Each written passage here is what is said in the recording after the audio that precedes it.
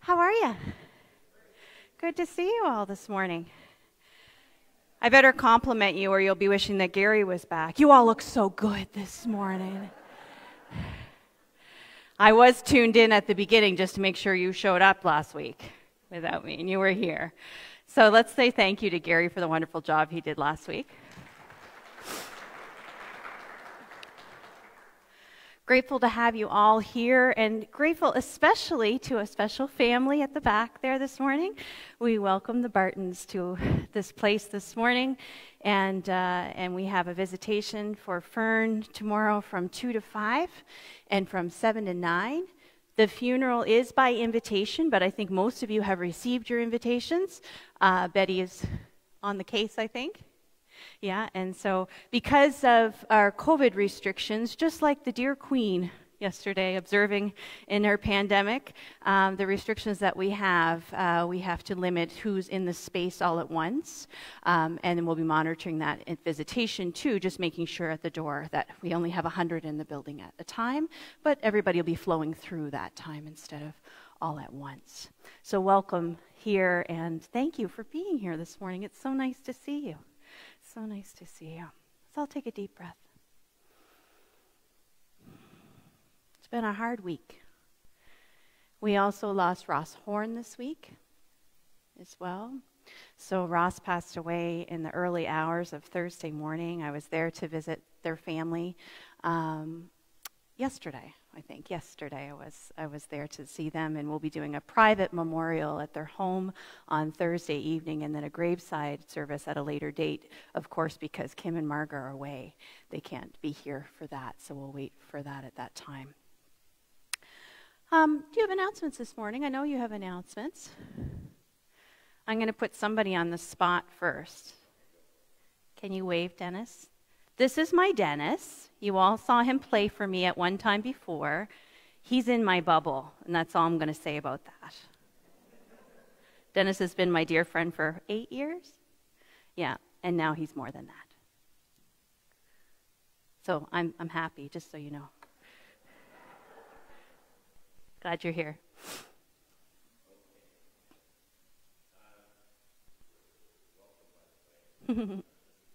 oh! It's not Funny Sunday again. Uh, oh, you got to turn your mic on.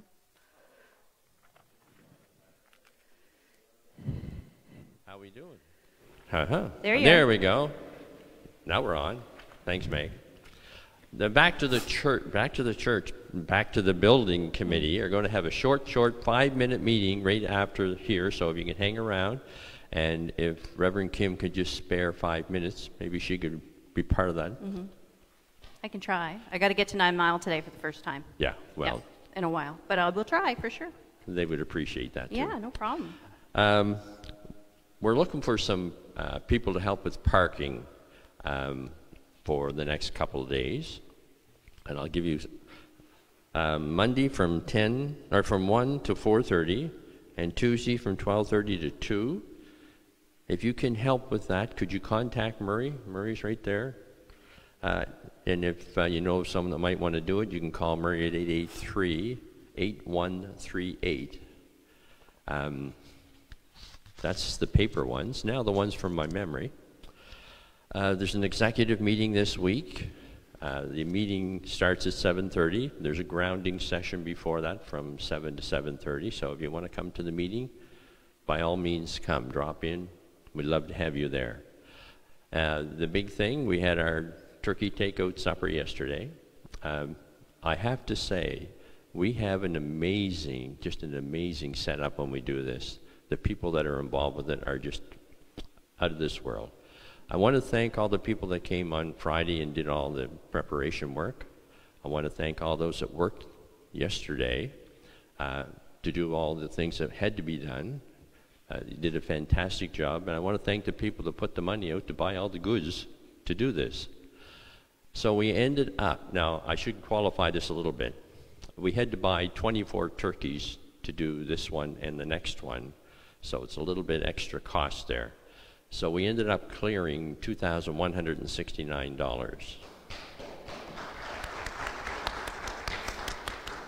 And again, thanks to all the people that did all the hard work, and thanks to all the people that bought all those great meals. So thank you very much.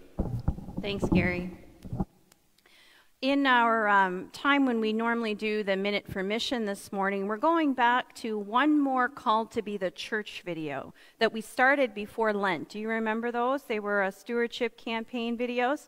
I was in contact with Roger Janes, who is the national representative from uh, the Stewards. Uh, lineage, mission, and service, and all of that from uh, the United Church of Canada. And he wanted to know if we would be interested in doing the module with him. It's over, I think it's six weeks. It's free.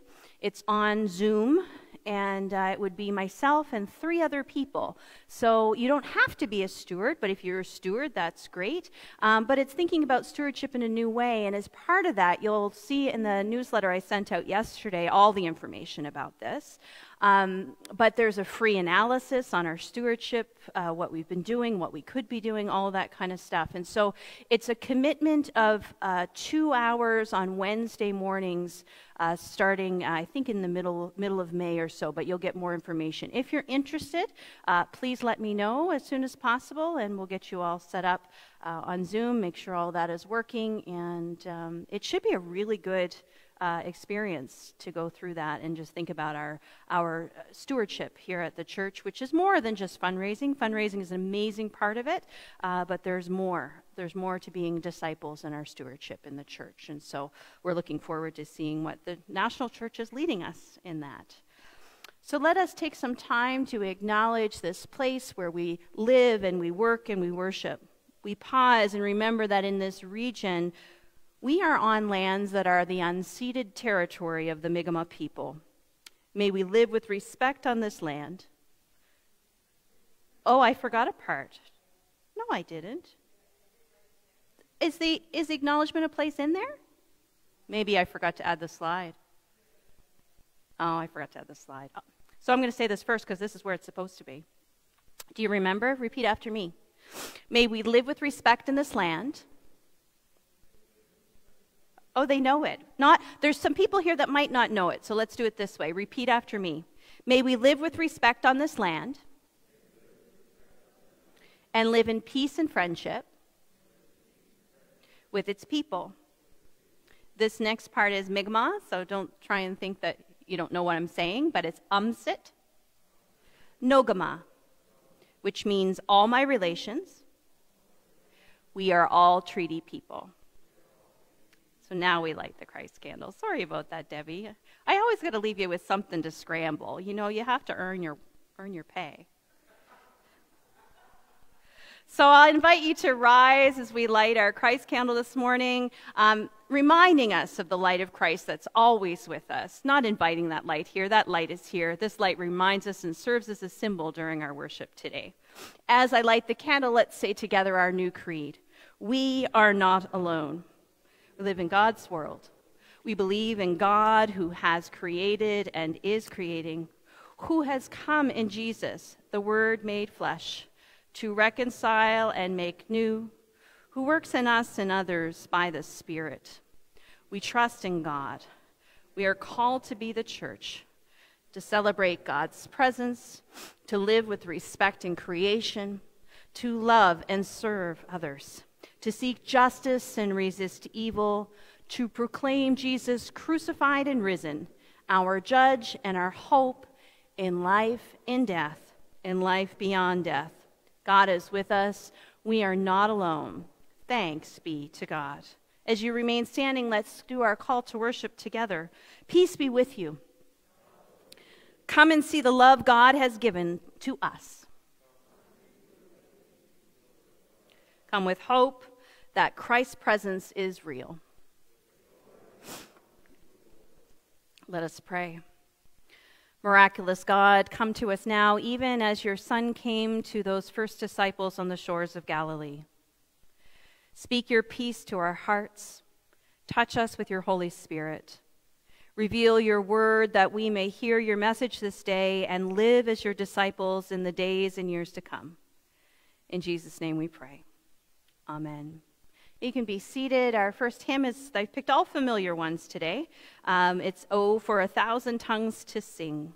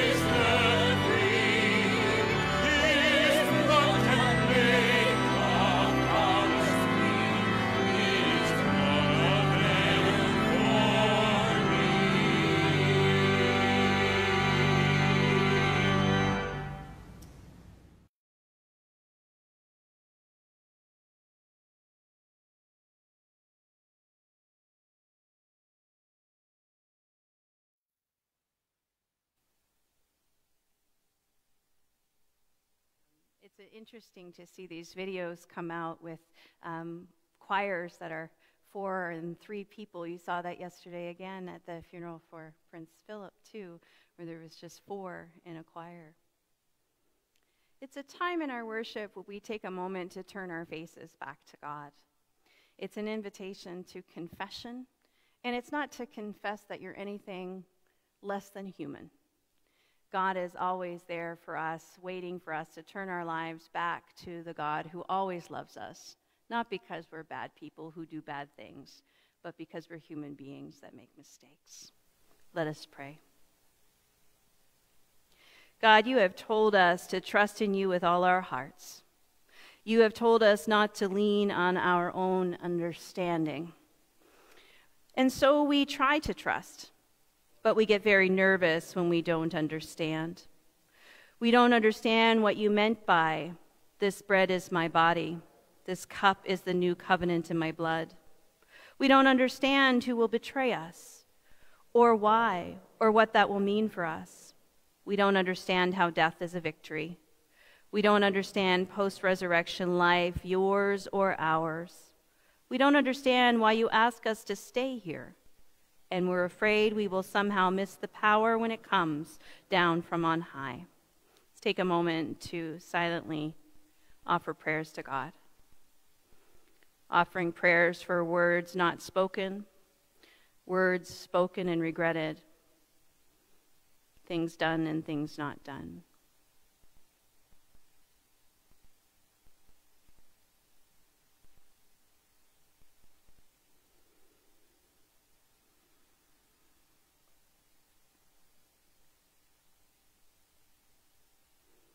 Amen.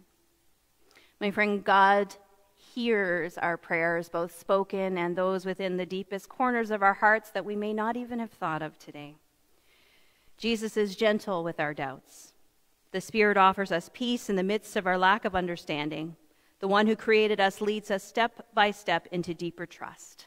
Together we say, Thanks be to God. Amen.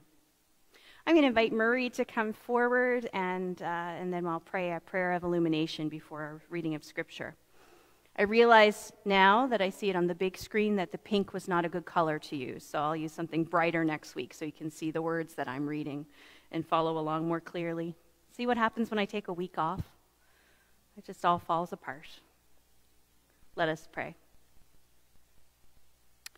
Jesus, our guide, you explained the scriptures and revealed yourself to the disciples at Emmaus. Now, by your Spirit, enlighten our minds to understand their witness and ignite our hearts to receive you at the table. Amen.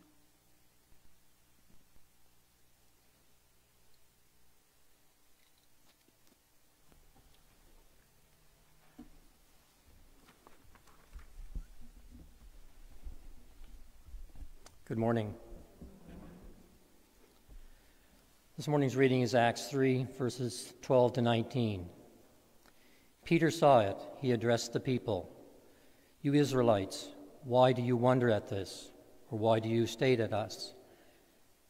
And though by our own power or piety we had made him walk, the God of Abraham, the God of Isaac, and the God of Jacob, the God of our ancestors has glorified his servant Jesus, whom you handed over and rejected in the presence of Pilate. Though he had decided to release him, but you rejected the Holy Righteous One and asked to have a murderer given to you, and you killed the author of life, whom God raised from the dead. To this we are witnesses.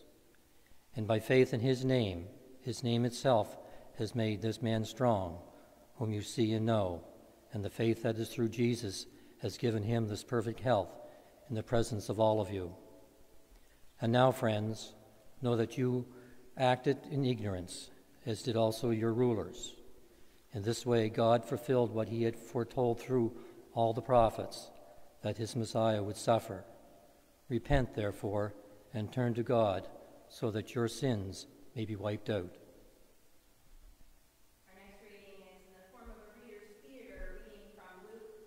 4, verses 36 to 48. Suddenly, Jesus appeared standing among his gathered followers. Greetings, he said. Please, peace be with you. Taken by surprise, they thought he was a ghost and were scared spitless. Jesus said to them, What have you got to be afraid of? Why are you letting your doubts get the better of you? Here, take a look at my hands and feet See for yourselves that it is really me. Reach out and touch me, and you will know that I am the, a flesh and bone. No ghost can claim that. As he spoke, he showed them his hands and feet. It all seemed too good to be true. So wonderful, they couldn't believe their eyes. Their heads were bursting with joy and disbelief. Jesus asked them, Have you got anything here I can eat? So they gave him a piece of grilled fish, and he took it and he ate it in front of them. Then he said to them, The things I have said while I was with you amount to this everything written about me in the law of Moses, the prophets, and the Psalms is to be fulfilled. As he spoke, they began to see how the scriptures, how to read the scriptures with open minds so as to understand what God was saying to them. Jesus said to them, What was written will now be clear to you that the Messiah is to suffer and then rise from the dead on the third day. It was also written that the people, every nation, must be told of the Messiah's call to turn their lives around and receive forgiveness for sin. You can get, get started here in Jerusalem. You have witnessed these things firsthand, so you can tell everyone what you have seen and heard. The word of God for the people of God. Thanks be to God. Thank you, Murray. We have special music, and it's Breathe on Me, Breath of God.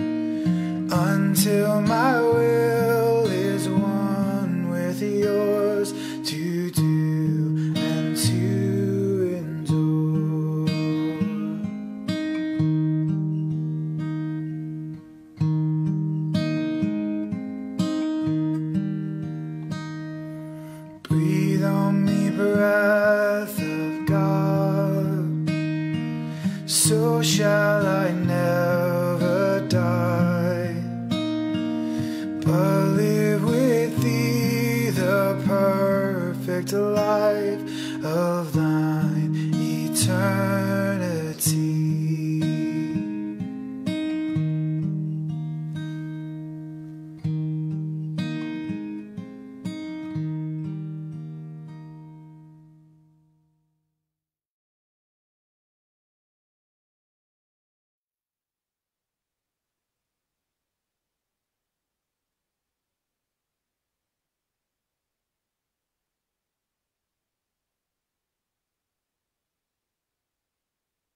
Will you pray with me?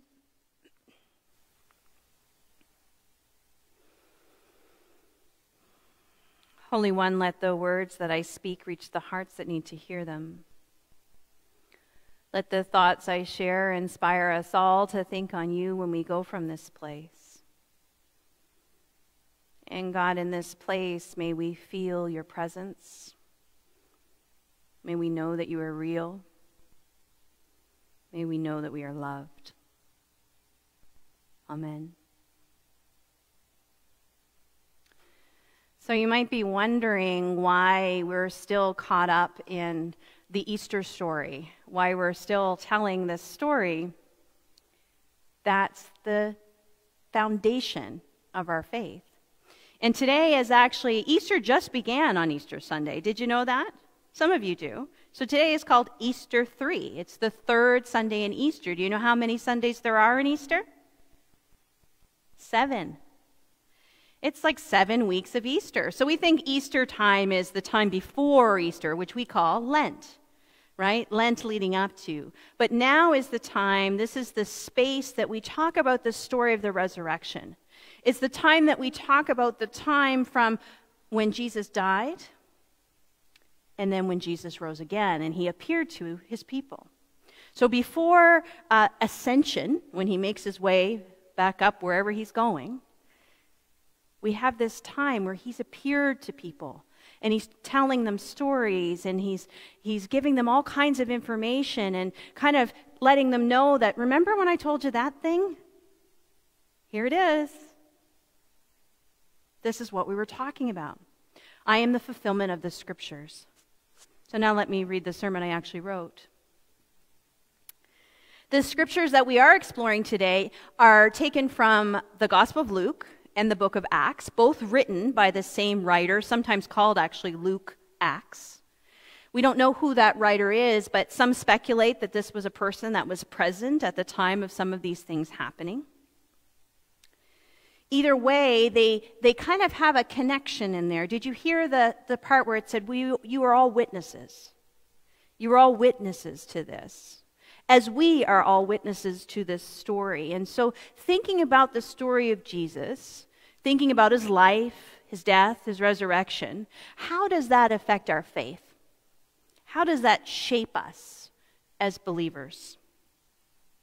So, in the reading of Acts that we read first, thank you, Murray, we join the story kind of right in the middle of it, and it doesn't make a whole lot of sense if you don't know what's happening in the story. You're like, who is he talking to? Why, why, are, why is he admonishing these people for no good reason?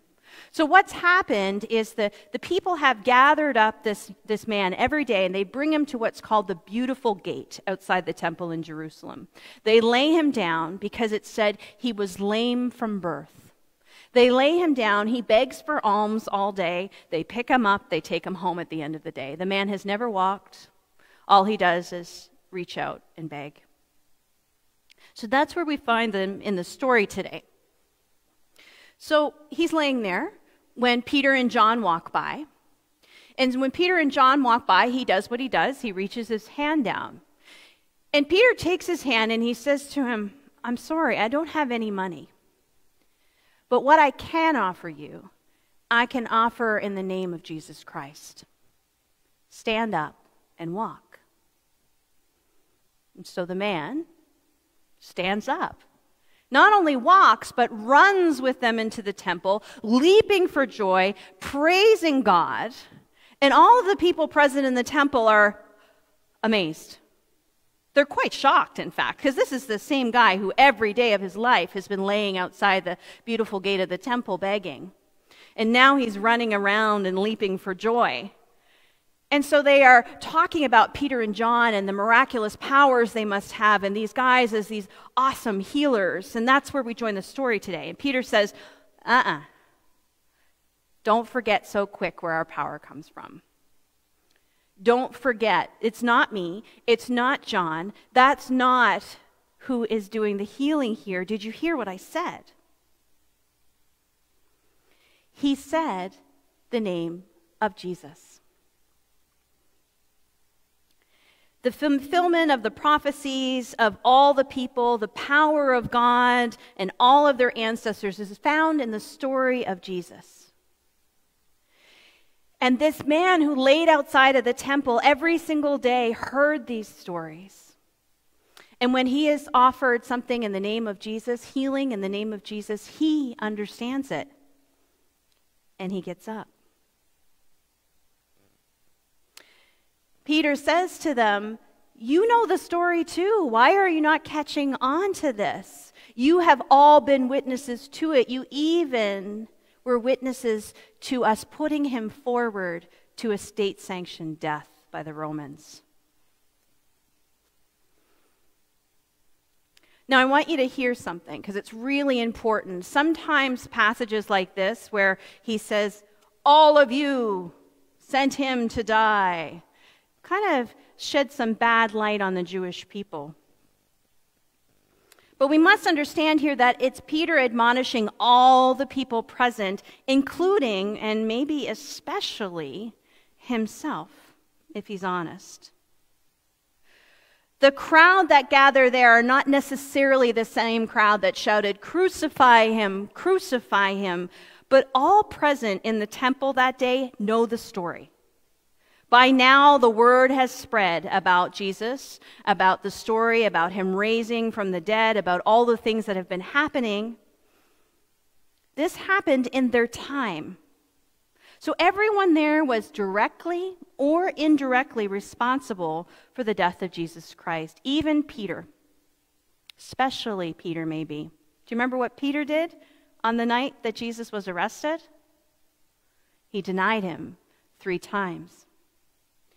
He denied him three times and he ran away. He was not there at the crucifixion. His good buddy Peter was not standing at his side, was not fighting against the Romans to get him down off the cross, was not saying, Look, this is who this is. How dare you kill the Son of Man? No, he was where? Hiding in the upper room. Peter denied his teacher and his friend. But in the book of Acts, we find him now saying who Jesus is healing in the name of Jesus. And so that's where the gospel story becomes important today. Because you're like, well, I'm like, how did he go from like, I don't know the guy, to like, stand up and walk in his name? Like, how did that happen? So the gospel tells us that this morning. So even though we read the book of Acts first as our first reading this morning, the context comes from the Gospel of John, which are the events that happen before the Acts of the Apostles. Okay? So we have the Gospel of John. Nope, Luke. We're in Luke. The Gospel of Luke. And we come to this story where Peter and John are probably among the 11 in the upper room. So there's more to the story before what we read today. So let me catch you up. Did you read the story of the road to Emmaus last week? You did? Okay. No, you didn't. Okay. So um, let me catch you up then. On last week's episode,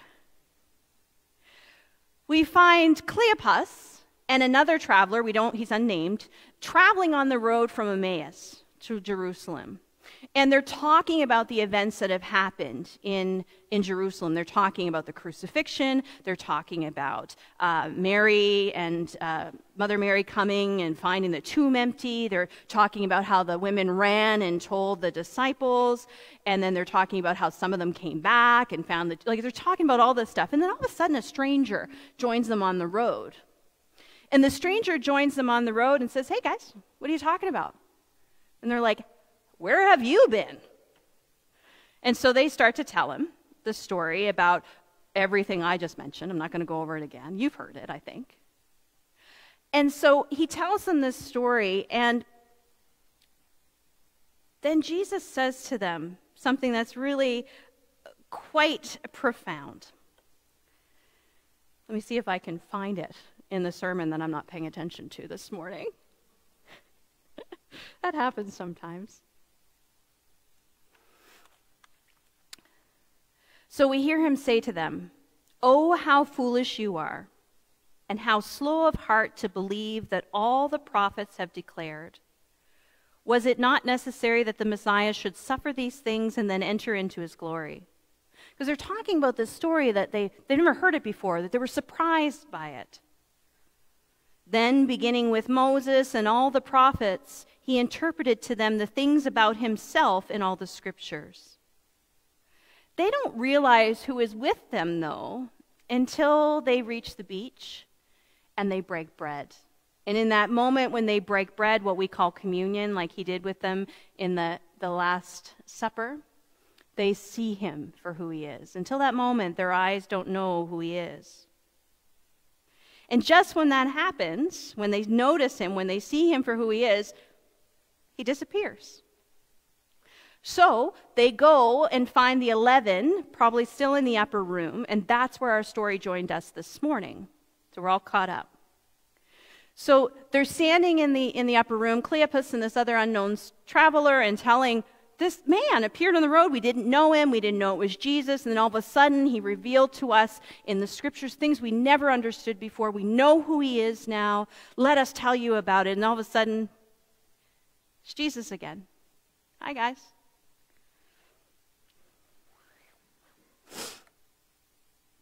So, as they're telling this unbelievable story, there are those present who walked the road with Jesus that are still clearly in doubt. They're afraid, they're confused, they think they're seeing a ghost, and that's pretty scary. And so Jesus says, No, come. It's okay. I know you're afraid. I know you have fears and you, you have doubts, but touch my hands, touch my feet. It's me. And then after they do those things, he says to them, just, you know, to add measure, because ghosts don't eat food. I guess they knew that too. He says, Hey, you got something to eat? And he eats with them. So not only are these the followers who walk with him in life, who accepted his death, who received the news that he lives again. But now they have heard him say in this moment, You are witnesses to these things. He understands their fears and their doubts, and then he patiently helps them understand even a little bit more. They have become witness to the fulfillment of the prophecy, to the power of God revealed in Jesus. And because of all of this, we are able and they were able to turn their lives to God. The reading says, and because of all this, the repentance and forgiveness of sins, which I will say is the turning back to God's way and the reconciliation of broken relationships between each other and God, is proclaimed in Christ's name. And he says, start where you are. Start here in Jerusalem. He doesn't automatically give them the big job and send them out into the world. He says, start here. And in fact, they start actually in that room. They start with one another. And you know, we want to believe in all this business so badly. Yet we are human beings with fears and doubts, just like the disciples. It's really good to hear that Jesus didn't say, How dare you not believe what I'm telling you? and just expect them to believe him.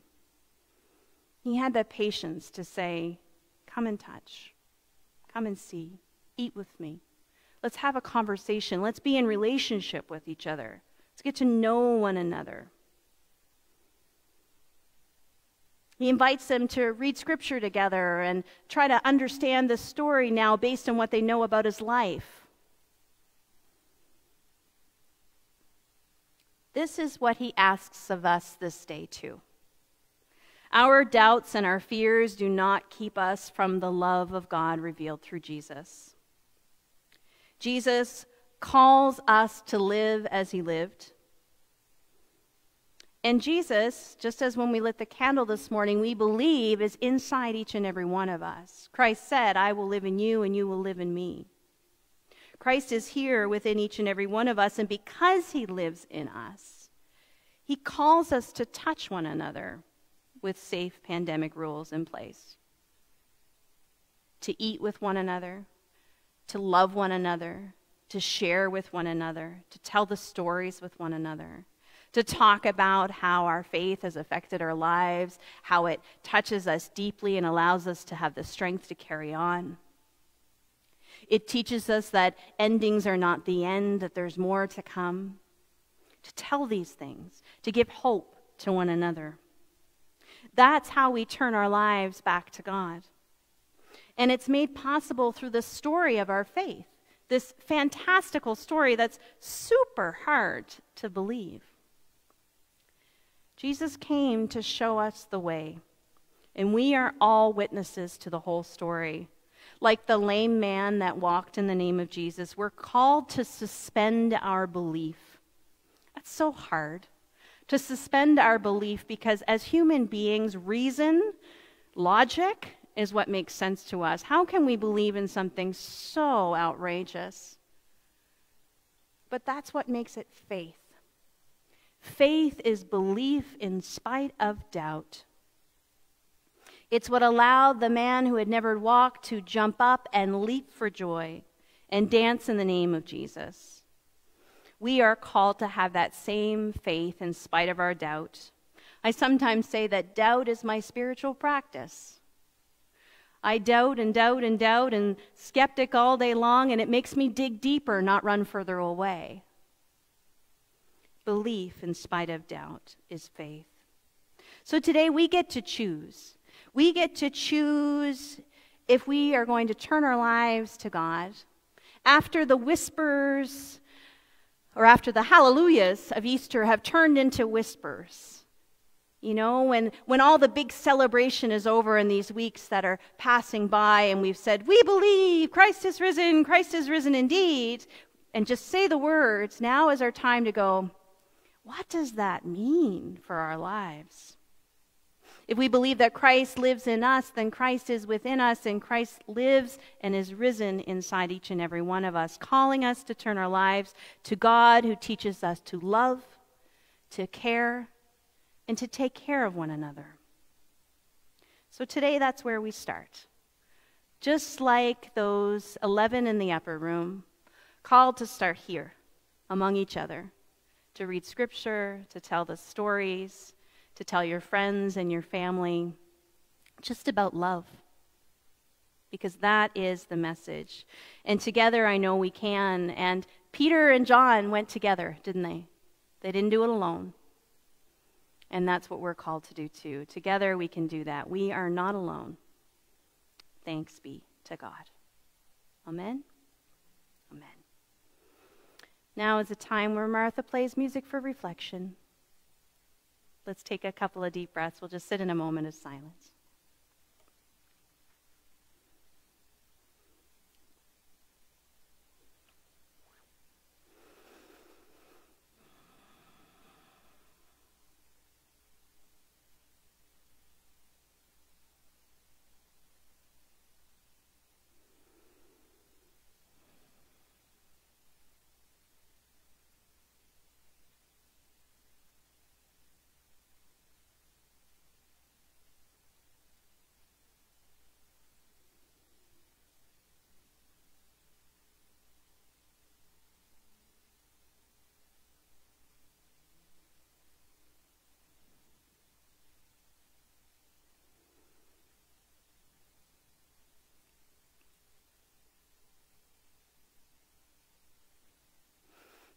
I'm curious.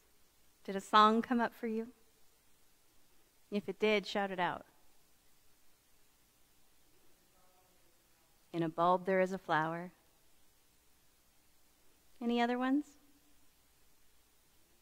Oh, Maggie's telling me, get in front of the camera. Yeah, beautiful. So we're going to watch our Called to Be the Church video right now. Um, these are a series of videos that are put out about stewardship from the United Church of Canada. Um, we sometimes play a Minute for Mission video in this time or tell a Minute for Mission story. This is our last Called to Be the Church video that we'll see today.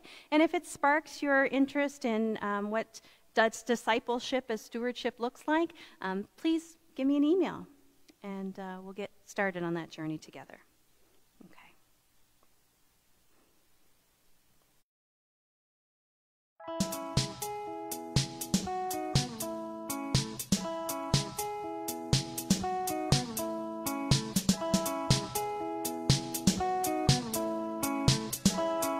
I give to show gratitude.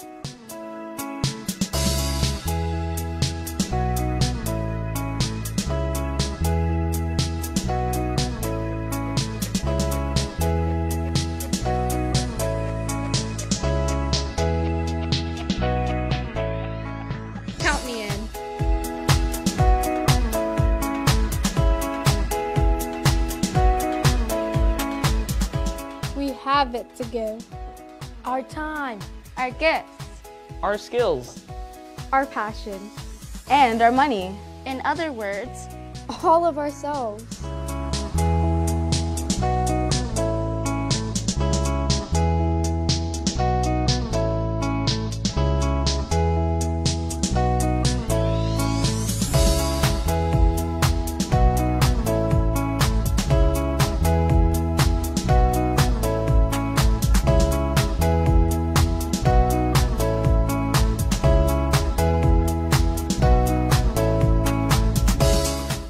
I give to live God's mission.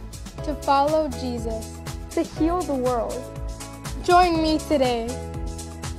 It's in my heart to give. It's part of my faith to give. It's in my nature to give. It's in my pocket to give. I give to show gratitude. I give to follow Jesus. it's part of my faith to give.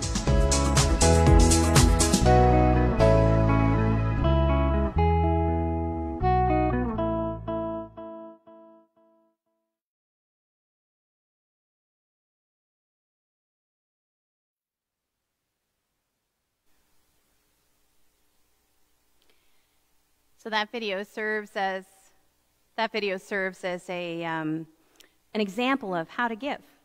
So those kids gave of their time to talk about giving. They put a video together um, to serve, and there's so many ways we've come up with thinking of different ways that we can serve and give to the community. Um, we have a food box that we're thinking about putting on the corner, um, and there's so many more projects that we could be working on and thinking about together with the whole community in mind, not just the four walls within our church, thinking about giving back. So, um, it is the time that we invite you to offering. We invite you to offer of your time and your talent, and particularly of your treasures in this time. Um, if you are donating um, here in the church, we have a offering plate at the back of the church and one at the side for on your way out today. We also receive donations to Riverview United Church and Nine Mile River United Church online under elmsdalecooperative under the donations tab.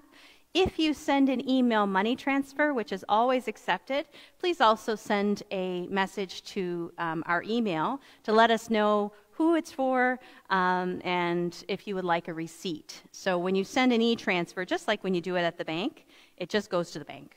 And so we don't necessarily know who it's come from. So if you'd like a receipt, please send us that information as well. So, in this time, I'm going to ask you to stand and we will dedicate all of the offerings that have been made and all the offerings that will be made in the name of Christ. Let us say together Mighty God, who brings life and hope out of death and despair, help us hear the invitation Christ offered to the disciples touch me and see. Make us bold to grab hold of the risen Christ. not for this day, but for all of our days. May we offer our gifts this morning not to the church historical, the church that was, but to a church that is becoming, that is still being born, that Christ will bring into the future. May our eyes and ears and hearts continue to hold on to him as we help Christ lead his church forward. In his name we pray. Amen. Please be seated. In our pastoral prayer this morning, you'll hear me sometimes say, Lord, hear our prayer. And when I say, Lord, you'll join me with, hear our prayer. Let us pray. Lord Jesus Christ, the light of your love shines on, illuminating the places where you are present. As the bewildered disciples pondered the stories of your appearance, you penetrated the darkness of their fear and doubt with your word of peace. You showed them the appalling marks of evil pierced on your hands and feet. You opened their minds to understand why you died to defeat evil and death. Increase our understanding, we pray, and open our minds and hearts to receive you. Lord, hear our prayer. Bring to us, O God, the sense of your living presence as we go into this new week. Renew in us the faith you want us to have, the faith that is not afraid to reach out in your name and to share the treasure you have given us, that treasure which is greater than silver and gold. Lord, you know our hearts. You know our needs, and you know the hearts of those around us and their needs. We lift ourselves and them before you in this time, offering these prayers either in our hearts or said out loud. This day we pray for.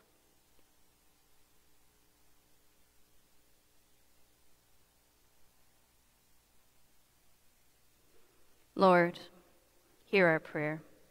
Lord, we especially hold before you today our province our province as we remember the tragic and violent events that took place a year ago tonight and tomorrow morning. We mourn the loss of 22 people and one unborn child. This year has been marked by so much tragedy. For many of us, that morning forever changed us. Be with all who are remembering this day and in the days to come. Lord, hear our prayer. We also hold the family and friends of three of our beloved members here at Riverview United Church as we mourn their losses this past month. We remember Marjorie Mailman, Fern Barton, and Ross Horn. Lord, hear our prayer. Finally, O oh Lord, we ask that you would bless us at Riverview United Church and at Nine Mile River United Church with vision for the future and reverence for the past. Guide us each day as we minister to one another and to the world for which you gave yourself. Help us each day to bear witness to your name and do that which you would have us do. We ask all of these prayers said aloud and within the silence of our hearts in the name of Jesus Christ, who taught us to pray to you, saying, Our Father, Mother God, who art in heaven, hallowed be your name. Your kingdom come, your will be done on earth as it is in heaven. Give us today our daily bread. Forgive us our sins as we forgive those who sin against us. Save us from a time of trial and deliver us from evil. For the kingdom, the power, and the glory are yours, now and forever. Amen. We close our worship with Be Thou My Vision um, before our commissioning and benediction. Please enjoy this beautiful version of this song.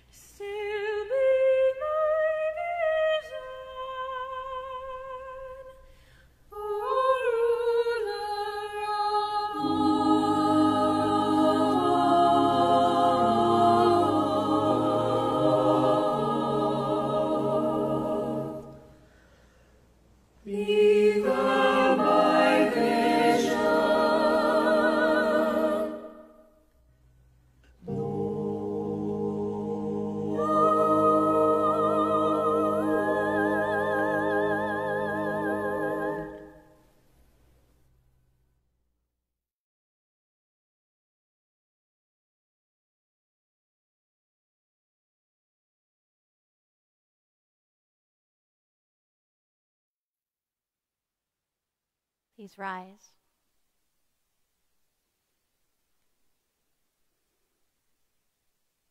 Let us say together In the power of the Holy Spirit, we go forth into the world to fulfill our calling as people of God, the body of Christ. Go in peace, love, and care for one another in the name of Christ. May you be blessed by the awareness of God's continual presence and power. May your path each day be lit with God's surrounding and indwelling spirit. May the joy and love and wisdom of the risen and living Christ fill your hearts, heart of your own heart. May Christ be your vision, now and forevermore. Amen. Go now in peace to love and serve the Lord.